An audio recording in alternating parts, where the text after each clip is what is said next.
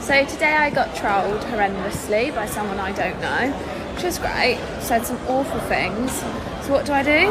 I go on your page, I find your mum, I screenshot your messages, and I send it to her. So she should be really proud of the boy, little little boy that she brought up. Do you know what else I've done? I've also sent it to your rugby club, and I've also sent it to your employer.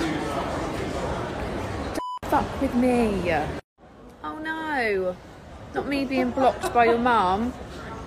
Oh, that's like me and you. Mm. Um, not me getting blocked by the mum. Sorry. You embarrassed by your son, hon? Um, don't worry. His employer's got it. Um, and as well as that, hope he gets sent to bed with no tea tonight. And he gets his PlayStation taken off him.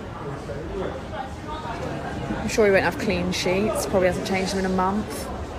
Have fun, kid.